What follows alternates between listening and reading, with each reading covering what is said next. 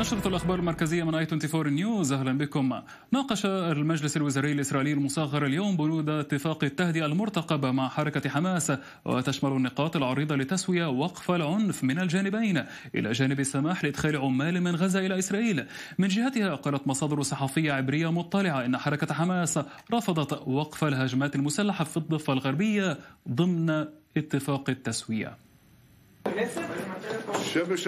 تتردد الأصداء مع نهاية هذا العام عن تهدئة بين إسرائيل وقطاع غزة إذ ناقش المجلس الوزاري الإسرائيلي المصغر الكابينيت اتفاق التهدئة الذي عرضت خطواته الأساسية ويدور الحديث عن تسوية بجهود مصرية للتوسط مع حركة حماس. وقد كشفت إسرائيل عن بنودها ومنها التزام تل أبيب بتقديم تسهيلات مدنية إلى أهالي قطاع غزة.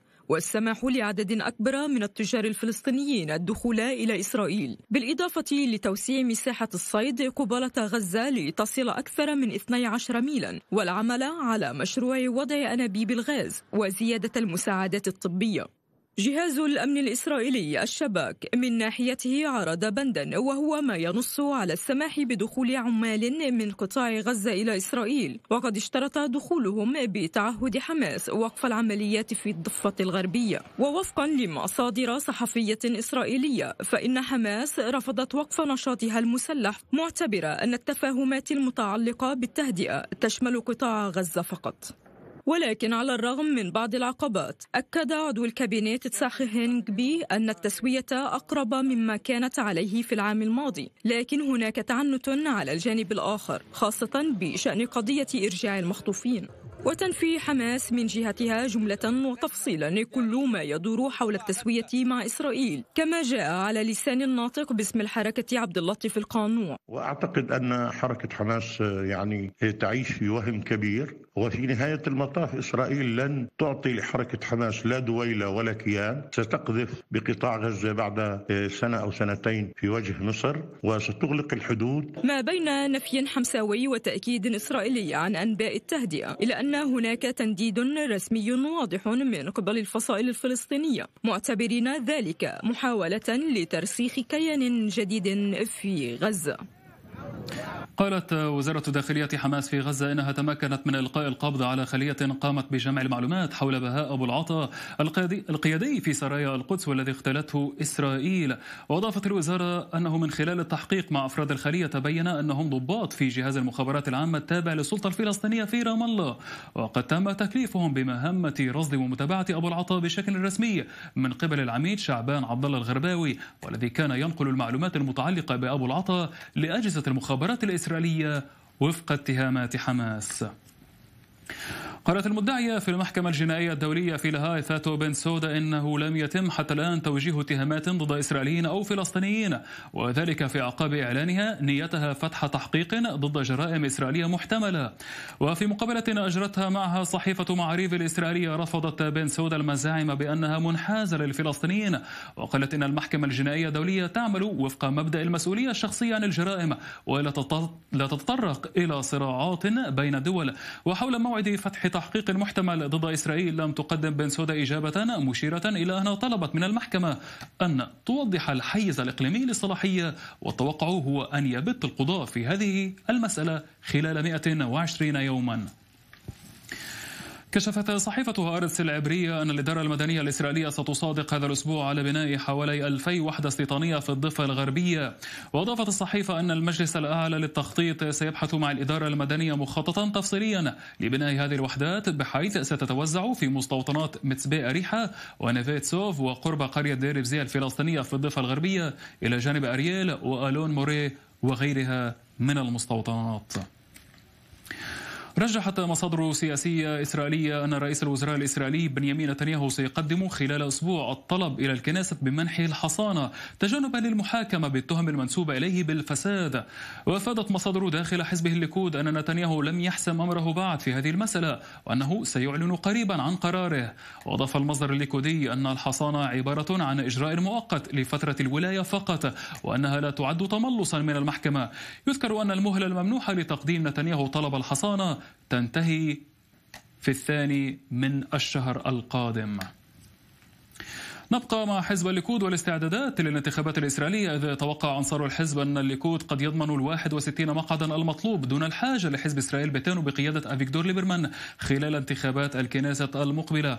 ويعزو أنصار الحزب ذلك إلى طبيعة الحملة الجديدة التي انتهجها نتنياهو وتتمثل في تكثيف النزول إلى الشارع والتحدث بإيجابية عالية دون مهاجمة الأحزاب الأخرى. هذا واجتمع نتنياهو مساء اليوم مع جميع أعضاء الليكود في تل أبيب ضمن مراسم إضاءة الشموع, الشموع بمناسبة عيد الحنوكا الإسرائيلي.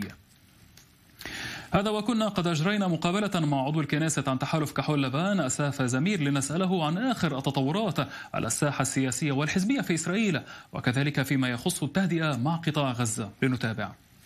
نعم عضو الكنيسة أساف زمير من تحالف كحلفان أهلا وسهلا بك. نهاية هذا الأسبوع تنتهي المهلة الممنوحة لرئيس الوزراء الإسرائيلي بنيامين نتنياهو لتقديم طلب الحصانة. برأي كحول لفان ما هي فرص حصوله على هذه الحصانة؟ وكيف تنظرون إلى فكرة أن يسعى نتنياهو بشكل عام وراء الحصانة؟ إيه، لا أعتقد أن بنيامين نتنياهو سيحصل على حصانة الكنيسة الثانية والعشرين.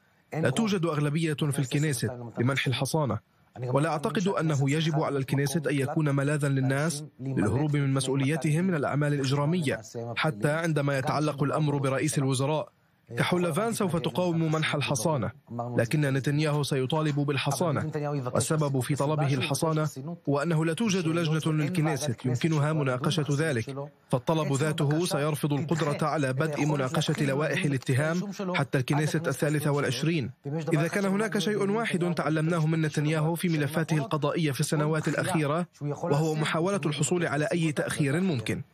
نعم سيد زمير على الرغم من لوائح الفساد المقدمة ضد نتنياهو إلا أنه فاز بجدارة برئاسة حزبه الليكود وأيضا حافظ حزب الليكود على موقعه في استطلاعات الرأي وهناك توقعات داخل الليكود بأن يحصلوا على 61 مقعد. ما هو تكتيك كحول لفان لعكس هذه النتيجة وللحصول على مقاعد أكثر تهزم الليكود؟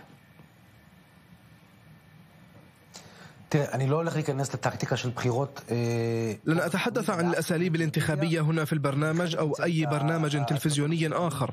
فأنا جزء من الطاقم المسؤول عن الاستراتيجية لحملة كحول لافان الانتخابية وهذه هي الانتخابات الثالثة التي نجريها في غضون عام. أستطيع أن أقول لكم شيئا واحدا مؤكدا. إننا نتحسن من حملة إلى أخرى ونعلم ما يتعين علينا القيام به من الناحية الاستراتيجية والتكتيكية لزيادة احتمال ألا يحصل بنيامين نتنياهو على 61 مقعدا لإبعاده من الحكم واستبدال القيادة ببيني جانس كرئيس للوزراء. ويتعلق ذلك بتشجيع التصويت بين قطاع السكان الذين لا يرغبون في استمرار حكم نتنياهو. نعم أريد أن أنتقل بك إلى مباحثات التهدئة مع قطاع غزة. أنت تعلم بأن الكابينت اليوم يدرس جهود التهدئة التهدئة. أنتم كيف تنظرون إلى هذه الجهود؟ خاصة وأن هناك اتهامات للحكومة الحالية بأنها من ناحية تقوي حماس في غزة وتضعف السلطة الفلسطينية في الضفة.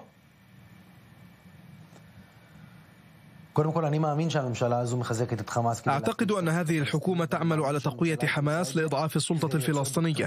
وأعتقد أن هذه الحكومة تفعل ذلك لتنتج عقيدة تقول إنه لا يوجد شريك للسلام وإنه لا يوجد أحد يمكن التحدث إليه لتقديم تسوية سياسية ويؤسفني ذلك. في الوقت ذاته سوف تدعم كحول لافان أي حل أو تسوية من شأنها إقناعنا بأنها ستحقق السلام في الجنوب وغلاف غزة ومواطنيها. في الوقت نفسه إذا لم يكن الأمر كذلك لازلنا نقول فقدنا قوة الردع الإسرائيلية في قطاع غزة. وفقدنا قوة الردع الإسرائيلي أمام حماس. ثلاث سنوات ونصف هادئة ضاعوا بالكامل بعد الجرف الصامد لم نستخدمها لمواصلة الردع. وجميع الأدوات التي نحتاجها على الطاولة لاستعادة الردع وتخويف حماس من إطلاق الصواريخ على إسرائيل. نعم أسف زمير عضو الكنيسة عن تحالف كحولفان شكرا جزيلا لك على هذه المداخلة. في جبهات ريفي إدلب الشرقي والجنوبي شمال غربي سوريا تستمر حركة نزوح المدنيين خوفا من معاودة قصف المنطقة من قوات الحكومة السورية وروسيا. يأتي ذلك بعد ليلة شهدت مواجهات عنيفة. في السياق أعلن وزير الدفاع التركي خلوصي أكار أن بلاده لن تخلي بأي شكل من الأشكال. نقاط المراقبة والبالغ عددها 12 نقطة في منطقة خفض التصعيد في إدلب.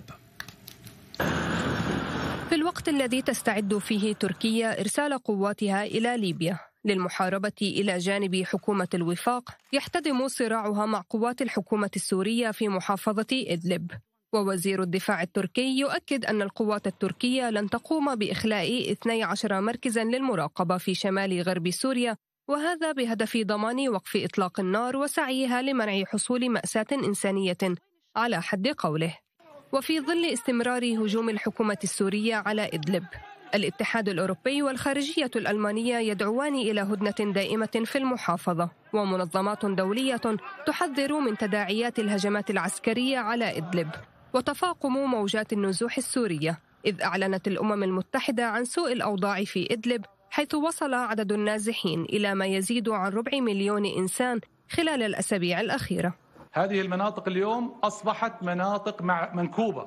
نعلنها كمناطق منكوبة يجب التعامل معها وفق هذه القواعد.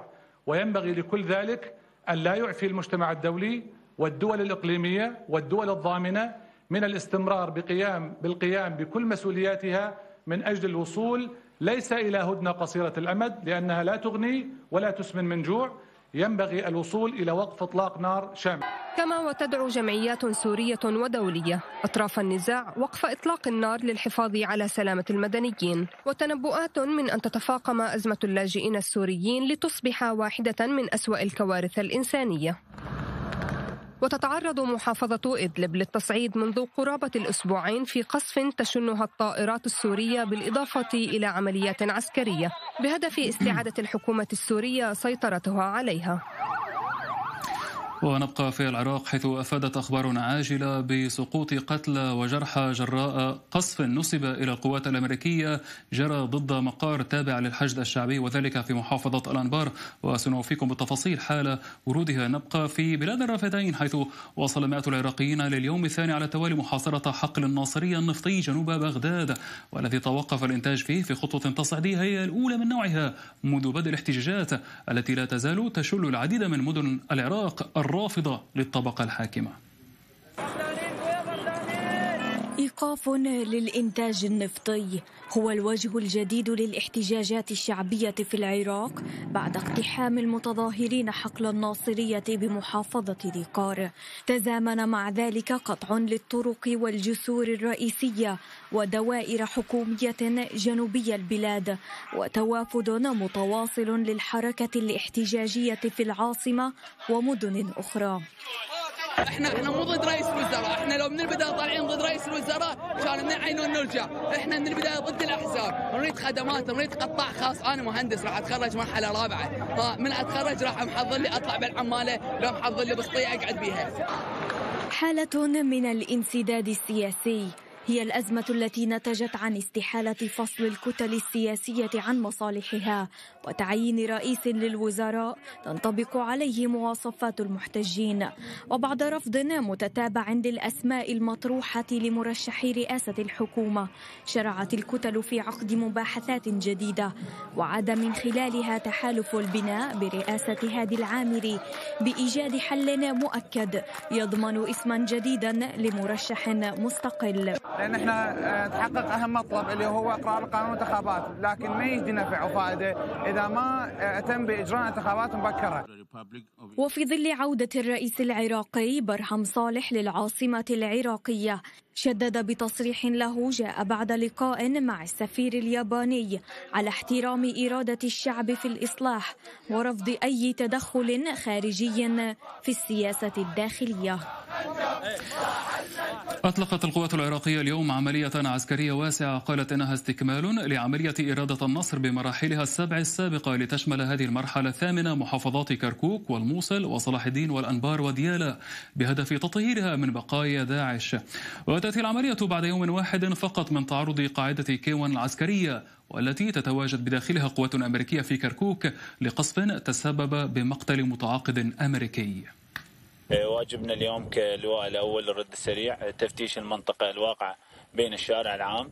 باتجاه البحيرة مثل ما تشوف بالصباح الباكر قدرنا نسيطر على أغلب المناطق المحددة إنه وباشرنا بتطهير المنطقة اللي هي غير مأهولة ودائما يستخدمها عناصر داعش يعني بإنشاء مضافات أو تنفيذ هجمات ضد المناطق الآمنة وكذلك القطاعات الأمنية الموجودة بالقاطع وللحديث أكثر حول تفاصيل المشهد العراقي تنضم إلي هنا الصحفية في اي 24 نيوز أصالة زريقي أصالة أهلا وسهلا بك. إذا في خبر عاجل ورد قبل قليل تحدث عن قصف تعرضت له مقرات حشد الشعبي في الأنبار ونسب هذا القصف إلى القوات الأمريكية. هل لديك معلومات حول ما الذي حدث بالضبط؟ نعم بشار. نحن نتحدث الآن عن قصف جوي لمقرات الحشد الشعبي والذي تتهم به أمريكا في القيام بهذا القصف. نتحدث عن قصف الذي تم تم تم خلال اليوم ولطالما اتهمت واشنطن هذه نعم. المقرات وهذه الكتائب بأنها عمليا موالية وتابعة لإيران. نعم. هنالك تبادل اتهامات ما بين بين إيران وما بين أمريكا بالنسبة للقصف الموجود على الأراضي العراقية. آه، وفي هذا السياق آه، ننتقل للمشهد الاحتجاجي في العراق. نتحدث عن مشاهد احتجاجية متواصلة ومستمرة في العراق. توافد متواصل للمحتجين للمطالبة بالإصلاح السياسي في العراق. وهنالك مرحلة جديدة اليوم بالنسبة للمظاهرات الاحتجاجية في العراق. نتحدث عن إغلاق لحقول نفطية لحقل النفط في الناصرية في محافظة ذي جنوبي البلاد. إيه، هذه المرحلة تعتبر جديدة لأنها إيه، سبق ذلك إغلاق الطرق وإغلاق نعم. موانئ واليوم يغلقون طرق وحقول نفطية. نعم. وهنالك استمرار أيضا للتهديد باختراق المنطقة الخضراء في بغداد والتي والتي تحتوي على إيه، مقر السفارات وعلى المقر مقر الحكومية. هنالك تخبط ما بين اتهامات تخبطات ما بين اتهام من هو الطرف الذي يهدف إلى إغلاق الحقول النفطية؟ النفطية ومن هو الطرف الذي يهدف إلى اختراق المقار والسفارات في في المنطقة الخضراء؟ هل هو الشعب أم هل هو طرف خارجي؟ آه، يود بتشو...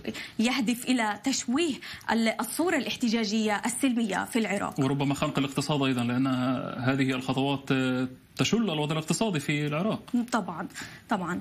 إيه. طيب أيضا بالحديث حدثنا اصاله عن الوضع الميداني ماذا عن المشهد السياسي؟ هناك استمرار للمحادثات. تذكرين بأن الرئيس برهم صالح قدم استقالته احتجاجا على استمرار تقديم الكتل الانتخابية مرشحين المحتجون يتهمونهم عمليا بأنهم متحزبين وليسوا مستقلين.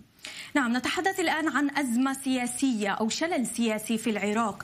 إيه، فالعراق الآن موجوده في ازمه عدم وجود عدم تسمية نعم عدم تسمية رئيس للوزراء. إيه، الآن بعد آه، تقديم استقالة تقديم رئيس الجمهورية العراقي برهم صالح لاستقالته أمام البرلمان.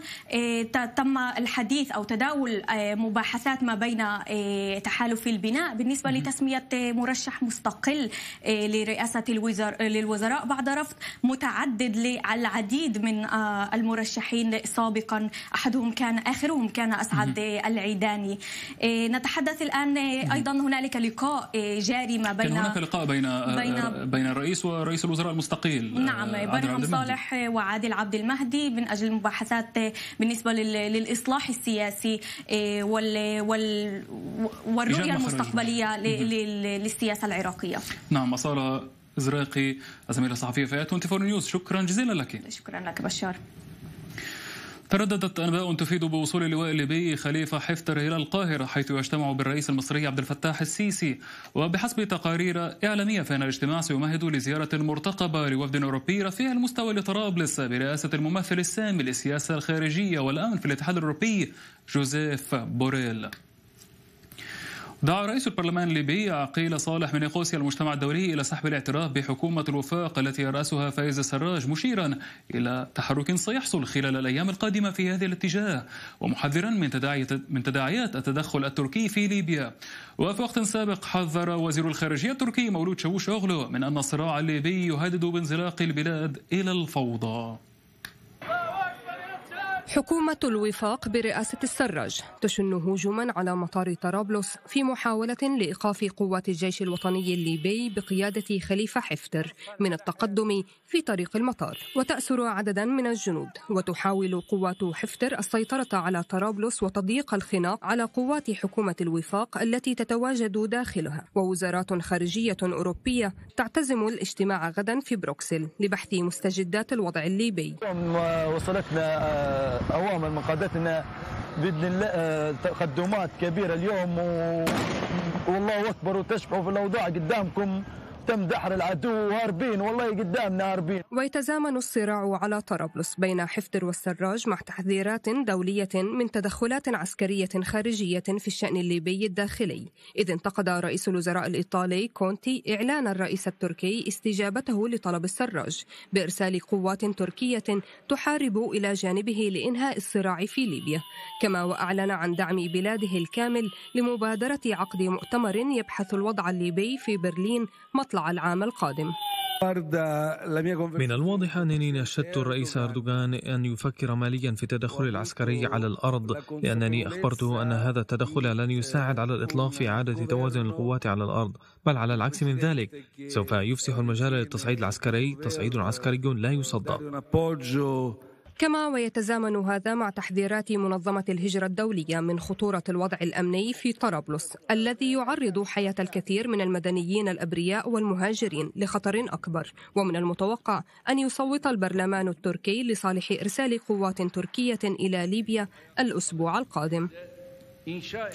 وللحديث أكثر حول الملف الليبي. ينضم إلي الخبير في العلاقات الدولية هاني سليمان وينضم إلي عبر خدمة سكايب من العاصمة المصرية القاهرة. أهلا وسهلا بك سيد هاني. إذا الأنباء تفيد بأن المشير خليفة حفتر يقوم بزيارة مفاجئة إلى القاهرة للاجتماع مع الرئيس المصري عبد الفتاح السيسي. أسباب هذه الزيارة خاصة وأنها تأتي قبل يوم واحد من اجتماع بروكسل حول ليبيا وزيارة مرتقبة لوفد أوروبي إلى العاصمة الليبية طرابلس. يمكن العلاقات المصرية الليبية هي علاقات استراتيجية في الفترة الأخيرة ومعروف ليس بخفي دعم مصر لوحدة الدولة الليبية ودعم قوات الجيش الوطني الليبي بقيادة خليفة حفتر على اعتبار أن يمكن في الفترة الأخيرة كان هناك العديد من الجماعات الإرهابية والميليشيات الموجودة والداعمة لحكومة الوفاق.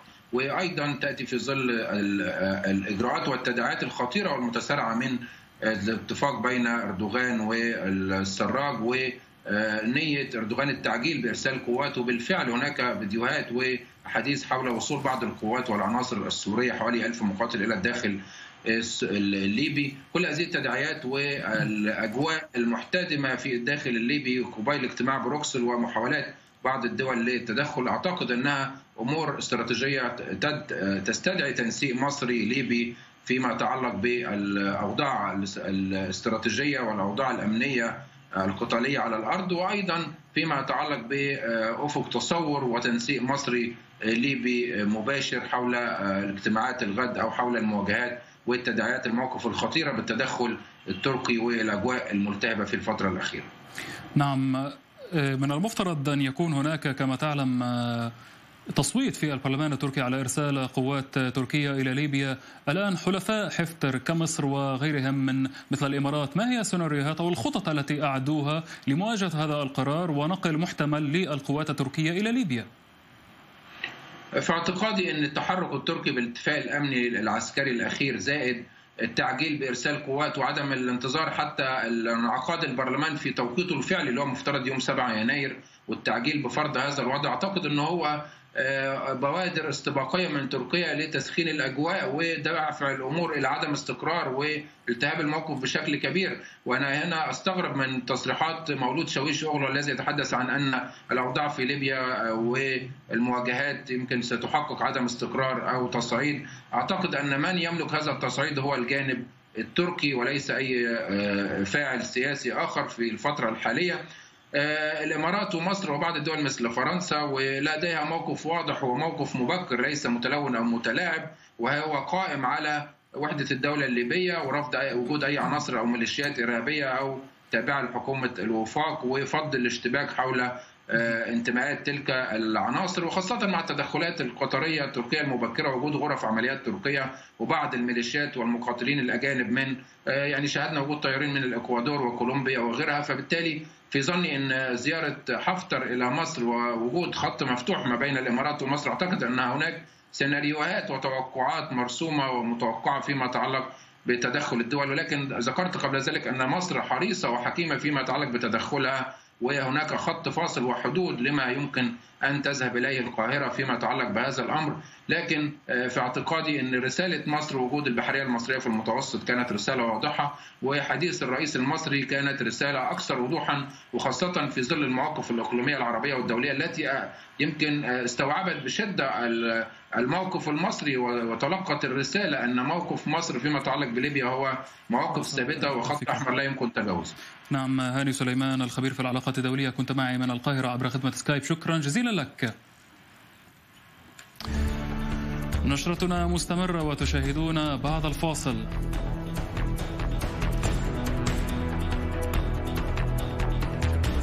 في حفل عسكري لهم من قبل أنصار الله الحوثي في الضالع.